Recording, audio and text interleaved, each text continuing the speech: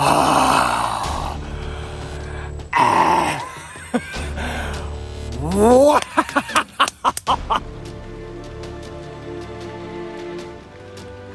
They're so beautiful, aren't they, folks? Such a spectacular little critter. Wow. What's gonna happen if I touch it?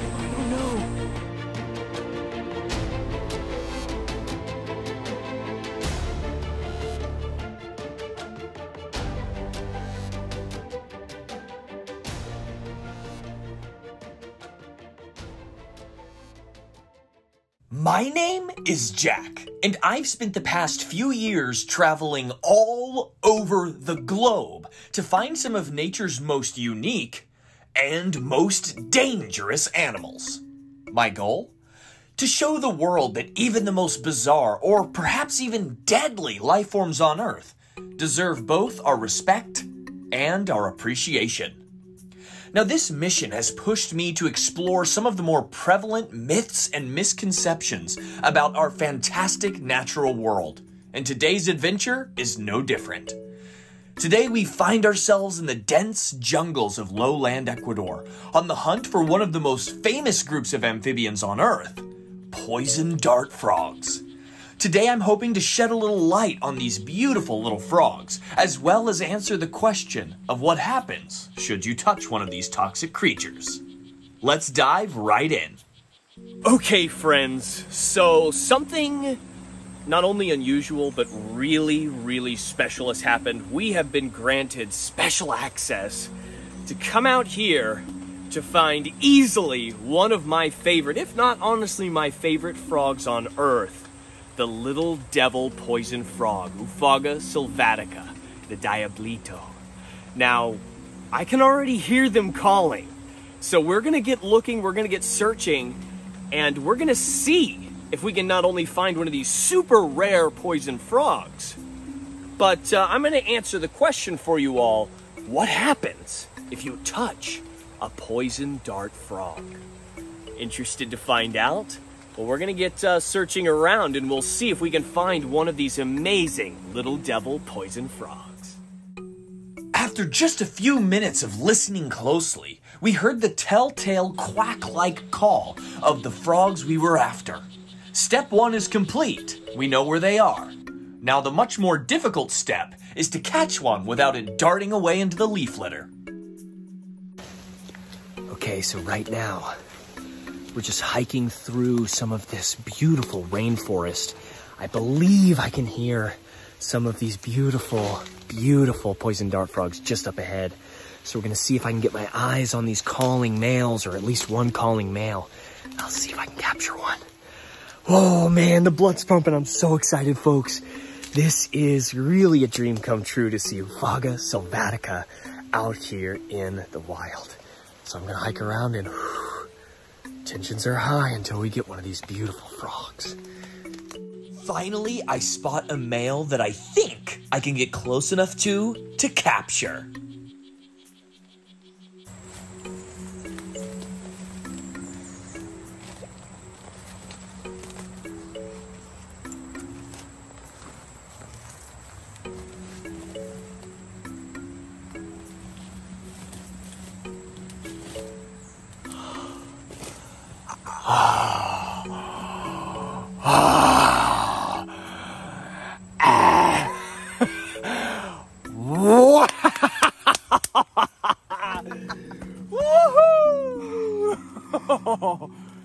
Right here, this, my friends, easily not only one of my favorite species of poison dart frog, but absolutely one of my favorite localities. This right here is the little devil poison frog, or the Diablito. Now, we are here in some beautiful lowland forests here in Ecuador, and we have been given special permission to come out here and film these spectacular poison frogs. We saw a few kind of, you know, hopping around in the leaf litter and the bramble patches, uh, but uh, now we've got one in hand. Absolutely spectacular. This is a gorgeous frog, an immaculate male, and uh, I'm pretty freaking excited. Now, you may note that these frogs are quite brightly colored. Now, this is not a great way to remain camouflaged in the rainforest, right? Well, these frogs employ aposematic coloration, aka warning colors. Now, these colors let potential predators know that these animals are poisonous and will not be a safe or easy meal. Surprisingly, they can still be hard to spot among the fallen limbs and leaf litter under the canopy, so I was so excited to find this male and capture him. All right, so we've got our beautiful male little devil poison frog. Now, these are striking. They have those bright colors, that high contrast of black and red, and that helps to warn predators to let them know that these frogs are poisonous. You would not want to be out here in the jungle and feed on one of these frogs. You could be very, very, very sick, or perhaps in some cases, even die.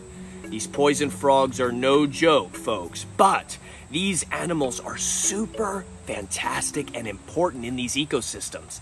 They feed on a variety of small invertebrates, and that's actually what gives them their toxins a whole slew, hundreds of species of mites and ants and all sorts of other tiny little invertebrates feed on many toxic plants here in the rainforest.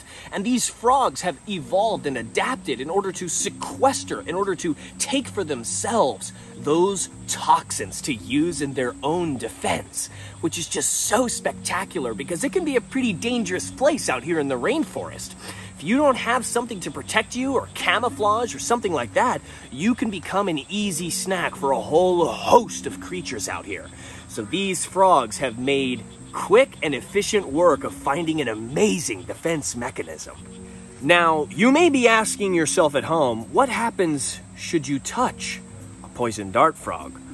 Well, this species here it's not quite as toxic as the golden arrow frogs, but uh, let's see. Let's just see what happens. Got my little container here. My lovely, lovely little frog. Let's see if I can get this guy out. Oh, easy. As you can see here, I'll leave this container accessible. I don't want to lose my little friend. So right here, look at that. Wow gonna happen if I touch it? Oh, I don't know. Take a look here, folks. Let this frog. oh, oh, it's already burning my hands. It's it's it's killing me. It's destroying my cells. Oh, I'm kidding, folks. I'm kidding. I got you again, didn't I? These lovely little poison dart frogs are not nearly as toxic as some of their other South American cousins these lovely little frogs here, they might make you sick if you swallow one, uh, but other than that, skin to skin contact is not going to be dangerous with this species here. So as long as I don't rub my eyes or, you know, intravenously inject this frog into my body, which so far I'm not planning on doing, I am really in no real harm. In fact, this glove that I'm wearing here is not for my safety, it's for little guy's safety right here. Frogs have incredibly sensitive skin, and we have all sorts of sweat and oils. I wiped my hand on all this leaf litter before I put this guy on my hand just to protect him from some of those salts and oils that are always residual on human skin. But look at that. Is that not just so spectacular? I am like absolutely floored that we were able to get this get this permission to come in here and handle and film these frogs. This has just been absolutely spectacular. I never could have imagined being here and getting to film with one of my favorite species of amphibians on Earth. These have a really special and dear place in my heart, and this is actually a species that I used to keep in my own personal collection and breed as well. So to see them in the wild in their natural environment mating and calling and hunting for food. It's just so rewarding. It's such a dream come true. No, no, no. Get away from my friend, mosquito. Take a look at this frog. They're so beautiful, aren't they, folks? Such a spectacular little critter. Although these frogs aren't capable of killing a human being, that's not always the case in regards to dart frogs. Just a few hundred miles south lives the golden arrow frog, which is more than capable of killing a human being with just skin to skin contact in as little as 20 minutes. Now, that's a frog I wouldn't go out of my way to touch. Yikes. Now, what makes this encounter even more special is that these frogs, all dart frogs, are restricted to the neotropics. These frogs don't range anywhere outside of Central and South America. Additionally, this species is entirely restricted to South America. And these forests that we're in, only place you can find this locality, this color morph of this beautiful and spectacular little frog.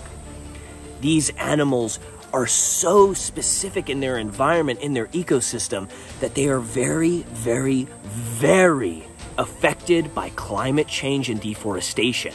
If these forests go, these frogs don't really live anywhere else, and they would have an extremely hard time adapting to a new environment or even new forest, even if we were able to preserve the species and move them elsewhere.